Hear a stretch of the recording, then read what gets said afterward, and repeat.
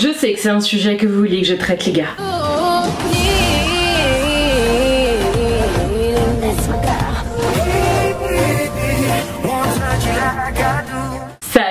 J'espère que vous allez bien, j'espère que vous êtes bien installés, votre petite tasse de thé dimanche 19h, vous connaissez le rendez-vous. Il n'y a pas eu de vidéo dans la semaine cette semaine, mais je vous l'ai dit, rendez-vous tous les dimanches à 19h pour avoir hum, du contenu sur ma chaîne. Alors oui, je ne parlerai pas de l'actualité qui se déroule dans le contexte russo-ukrainien avant que qui que ce soit me demande, parce que je ne suis pas expert géopolitique. J'ai des connaissances sur le sujet, j'essaye au maximum en story Instagram, rejoignez-moi par là-bas, de vous partager vraiment du contenu informatif sur le sujet mais je ne veux pas en fait faire cette meuf ou euh, comme beaucoup de personnes font qui attendent juste qu'il y ait un sujet qui explose pour en parler. Non, il faut avoir des connaissances sur le sujet, il faut fouiller le sujet, et sauf que le sujet russo-ukrainien, c'est un sujet, même si je fouille pendant une semaine, j'aurai toujours pas les connaissances nécessaires pour ne pas faire d'erreurs et d'oubli, donc je n'en parlerai pas, mais si vous me rejoignez sur Instagram, je partage le maximum de contenu d'experts autour de ça mes poulets. Donc la question est close dès maintenant. Comme je disais, j'espère que vous allez bien, moi je sors de la salle, j'ai fait ma petite petite séance de marche, j'ai bien sué, euh, bien entendu j'ai mis 2-3 trucs de make-up entre temps parce que c'était clairement pas possible la tête que j'avais à ce moment-là. Je devais me présenter sous mon meilleur jour comme d'habitude. Dixit la fille qui de temps en temps avait un masque capillaire sur la tête carrément pendant une vidéo mais bref.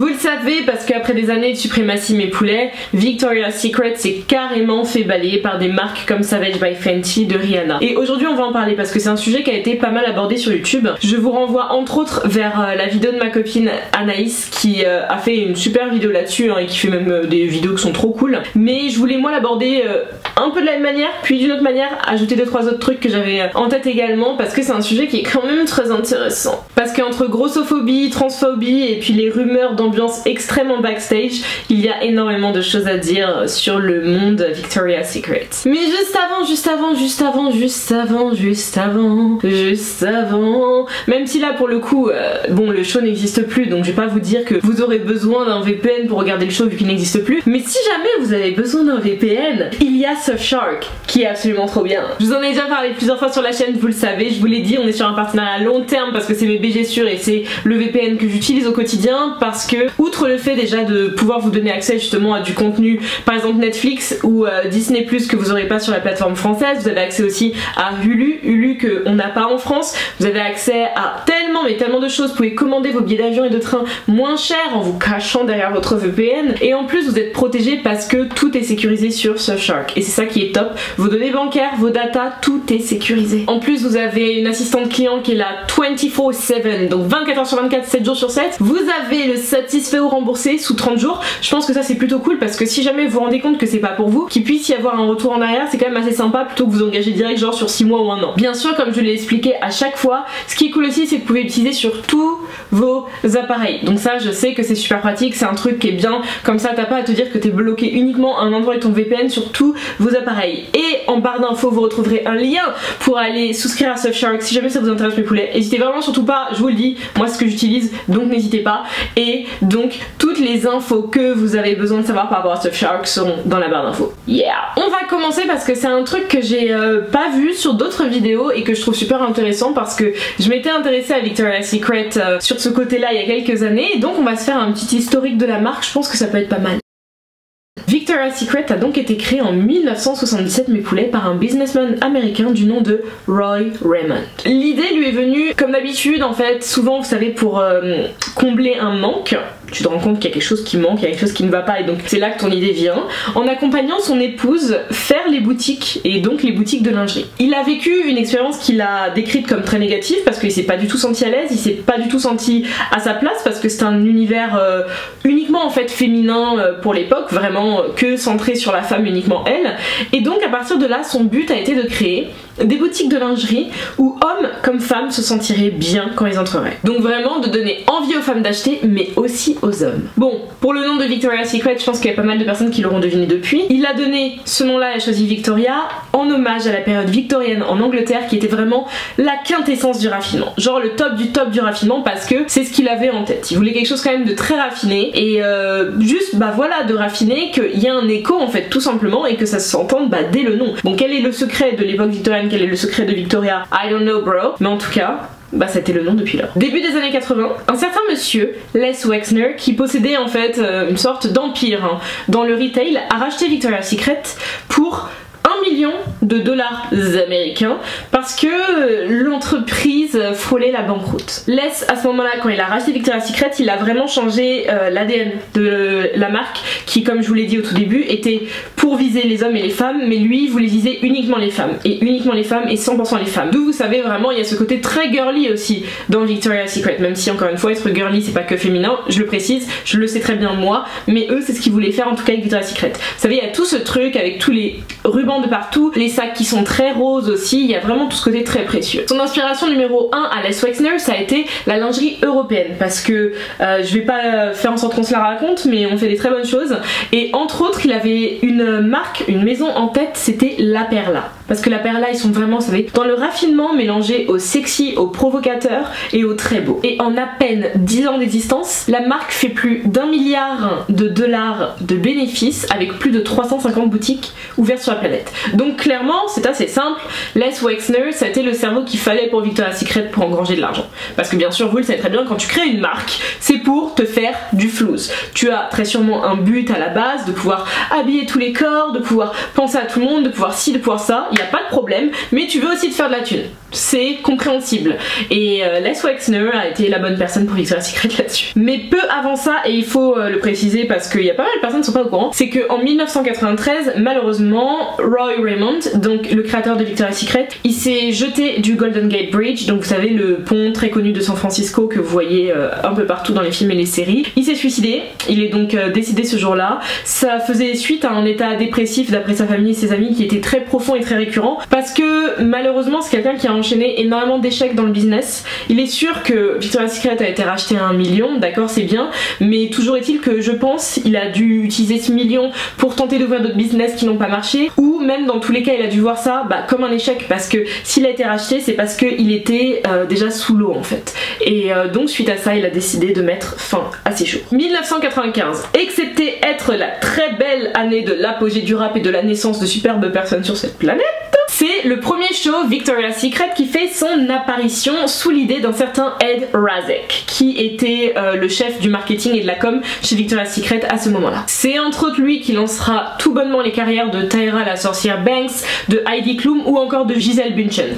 Pour ne vous citer que celle-ci. Mais bien entendu, il y en a eu énormément parce que Ed Razek est resté chez Victoria's Secret pendant très longtemps et il a énormément de contacts et d'influence dans le milieu. Pas besoin de vous le préciser, ce moment-là, le show surtout, c'est un tournant significatif pour la marque qui devient en fait une supernova. C'était une marque qui fonctionnait super bien, super bien, mais grâce au show, elle est devenue une supernova parce que c'est quelque chose qu'on ne voyait pas de cette manière-là. C'était, vous savez, tout, ce côté vraiment grandiose, le show à l'américaine, des chanteurs, puis des plumes, puis des ci, puis des ça, et avec à côté, bah justement les produits phares comme le Miracle Bra, j'en ai eu deux, Miracle Bra de chez VS, qui s'arrachent en fait sur la planète suite à vraiment son arrivée bah, sur une scène mondiale non discutée à ce moment-là. Même s'il y avait déjà 350 boutiques ouvertes, c'est sûr et certain, ils avaient leur présence, mais là, c'est un tout autre niveau. En 2000, une certaine Sharon Jester Turney devient la CEO de Victoria's Secret et en devenant CEO, madame décide en fait d'implanter euh, une nouvelle esthétique à la marque en se rapprochant de Vogue, quelque chose de très épuré, de très luxueux, de très... Encore une fois, on est dans la quintessence de Nani donc en fait de revenir à une idée de base et en s'éloignant de Playboy. Parce que le souci c'est que à cette époque-là, il y a toute cette euh, ambiance autour de Victoria's Secret, il y a tout cet univers où la marque est pas mal rattachée aux hookers, donc aux escorts. Et sauf que c'est pas du tout le but à l'origine, même s'il est sûr que ça appelle, mais c'est pas le but à l'origine. Et grâce aux idées de Sharon, en l'espace de 10 ans, la marque augmente ses bénéfices de 70%. Monnaie, monnaie, monnaie.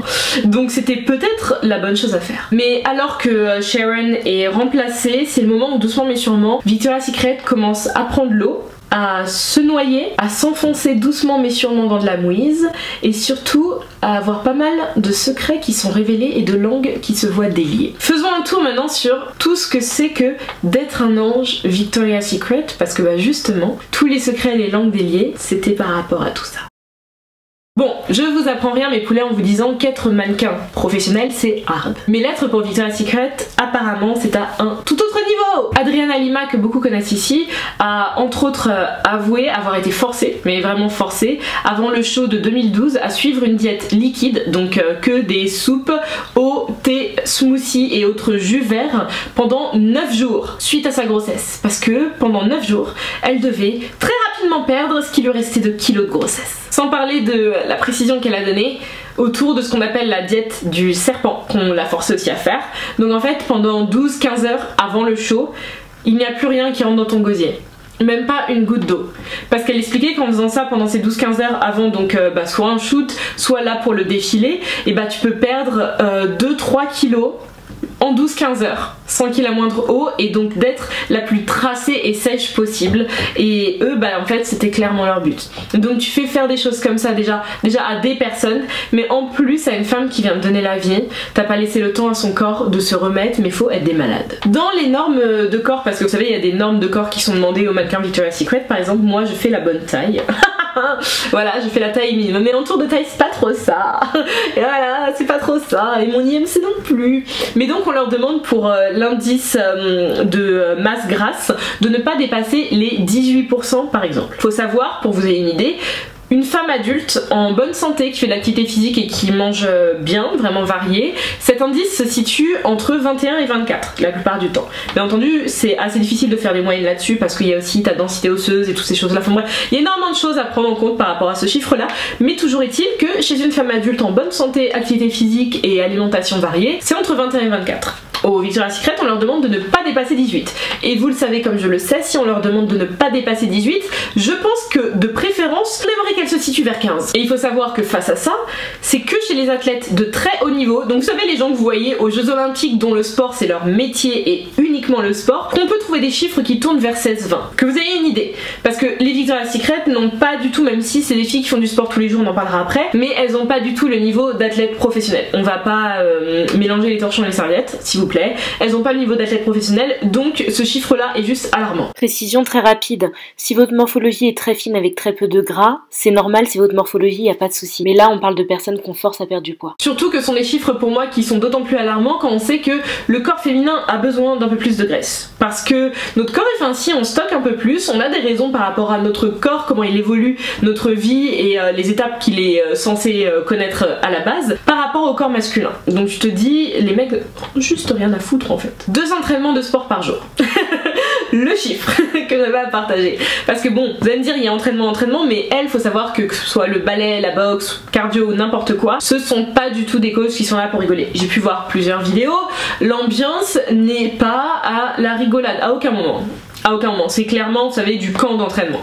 C'est du camp d'entraînement tous les jours, deux fois par jour. Parce que toujours est-il, moi par exemple, ce temps-ci, je vais m'entraîner des fois deux fois par jour, tu vois. Je vais faire euh, ma séance de marche rapide sur tapis à la salle. Et après, là, dans ma chambre, vu que j'ai mon euh, vélo euh, pour, pour le cardio, je vais me faire 30-45 minutes de vélo cardio. Sauf que ce sera chill. Je vais suer, c'est sûr, mais ça va. C'est pas le matin 1h30 de boxe et le soir 1 h de ballet intensif. On n'est pas sur les mêmes délires. Alors pour s'assurer que sur le catwalk, personne n'ait une démarche, comment dire, approximative. Les anges de Victoria's Secret, il y en a plusieurs qui ont parlé, qui ont expliqué qu'en fait, il n'y a pas juste, vous savez, les entraînements. Elles sont forcées, mais vraiment forcées. À mon avis, il doit y avoir très sûrement peut-être un quota qu'on leur donne d'heures où elles doivent porter leurs talons dans la journée où elles sont obligées en fait certaines expliqué que vraiment c'est obligé c'est même si tu te balades en jogging chez toi il faudra que tes talons parce que tu dois absolument savoir marcher avec mais comme je le sais et comme normalement vous le savez aussi porter des talons en plus ce sont des talons hauts à outrance c'est très mauvais pour le dos, c'est très mauvais. Pour la voûte plantaire et pour en fait tout le corps, parce que t'as tout qui se profile par rapport à ça.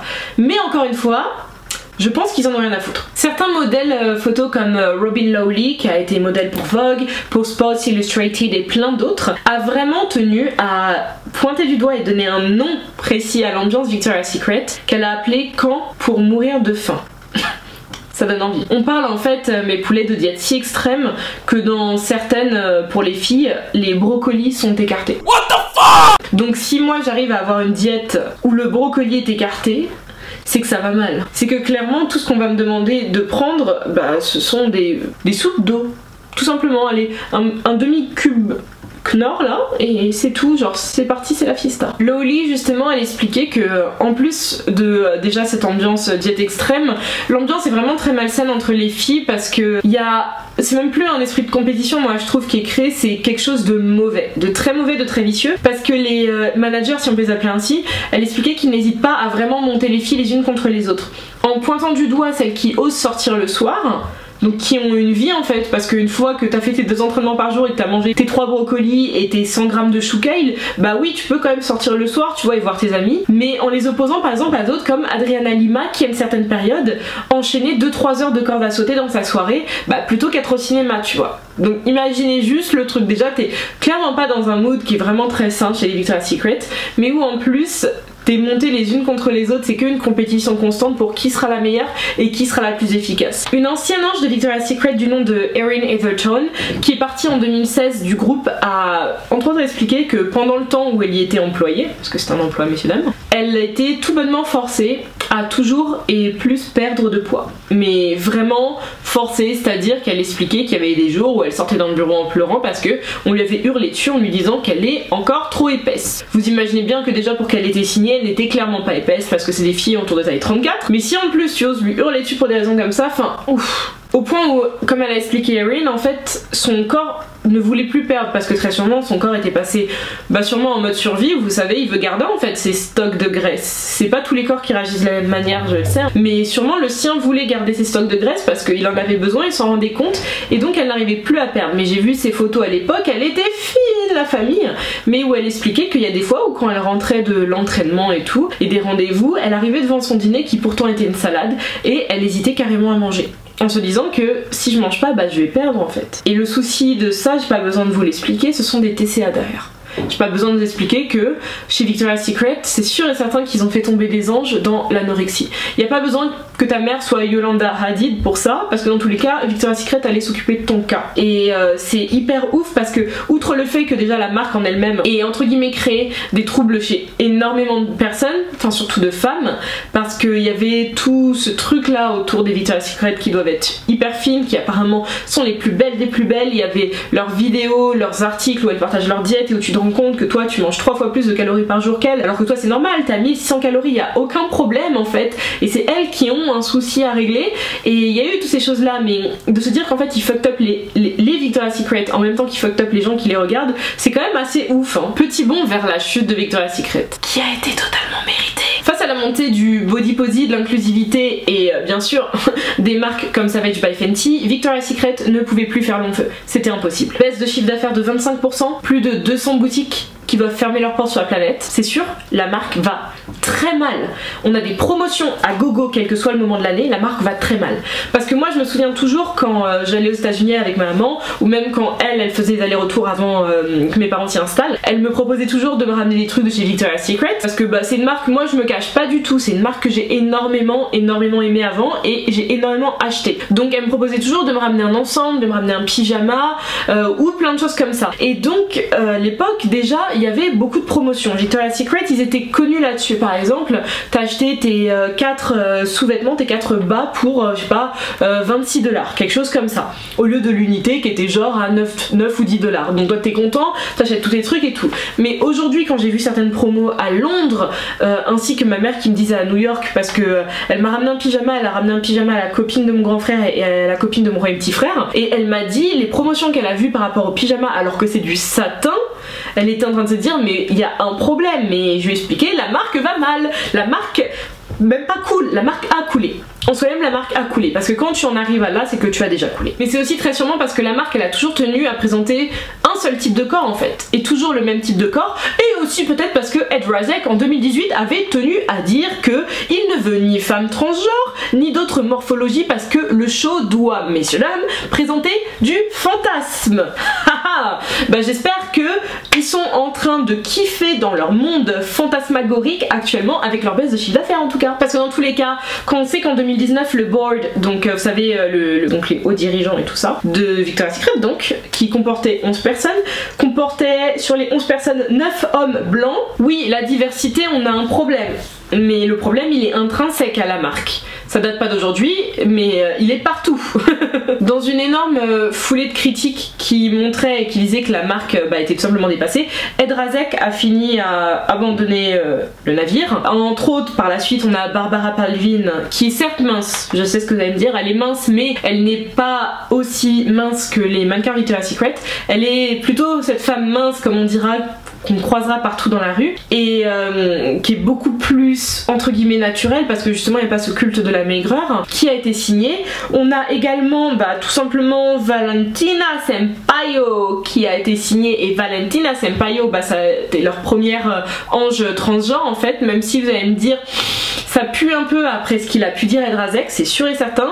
Après, il y a des nouvelles personnes à la tête de la marque et du groupe. Donc, est-ce que, comme j'en parlais avec des abonnés sur Insta, est-ce qu'on est vraiment dans un changement réel ou dans de l'hypocrisie pure en voyant que Savage by FMT qui prône l'inclusivité marche si bien? Je ne sais pas, nous ne savons pas, on pourra peut-être jamais savoir, mais je préfère ça plutôt que rien. Et l'autre jour justement, la raison pour laquelle j'ai décidé euh, d'aborder ce sujet-là et que j'en avais parlé en story, c'est parce que Sophia, Safia ou Sophia Sophia Girao, leur première mannequin handicapable qui euh, a le syndrome de Down, qui a été signé justement. Mais comme je vous l'ai dit, c'est mieux que rien. C'est toujours mieux que rien, c'est toujours mieux que de rester dans ce qu'ils font ou d'avoir mis la clé sous la porte sans avoir essayé. Parce qu'il est fort probable, encore une fois, on ne peut pas savoir, qu'en fin de compte, les nouvelles personnes dans les bureaux aient totalement mais des idées mais à 10 000 lieues, vraiment à 10 000 lieues, et que ça n'ait rien à voir avec tout ce qui a été fait jusque là. Mais on peut pas le savoir. Mais j'applaudis quand même, un minimum. Mais donc voilà mes poulets, c'est tout pour moi aujourd'hui, même si je pense que c'est pas mal, là on a quand même genre 20 minutes de vidéo, je pense bien. Euh, sur ce sujet là, j'espère vous avoir donné justement d'autres pistes euh, de lecture entre guillemets sur euh, le groupe et la marque Victoria's Secret. Je voulais aller un peu plus loin, ça veut pas dire que les gens sont pas allés loin, que les autres vidéos que j'ai pu voir sur le sujet, je voulais vraiment vous donner un peu plus de matière pour vous compreniez un peu mieux le fonctionnement de la marque et j'espère que ça vous a plu. Si c'est le cas, n'hésitez pas, abonnez-vous, vous lâchez un like, vous lâchez un commentaire et puis vous pouvez aussi me rejoindre sur Instagram parce que là-bas c'est très cool aussi. Je fais des reels, ils sont trop cool et je fais des stories, elles sont trop cool et j'ai même un de mes potes qui m'a dit que je mériterais d'être certifié et Instagram France, moi je suis d'accord, mais bref, je vous attends quand même. Moi je vous fais de gros bisous et je vous dis à très bientôt les poulets, soit dans la semaine si jamais il y a un sujet abordé, ou on se retrouve, vous le savez très bien, même lieu, même heure, dimanche prochain. Peace guys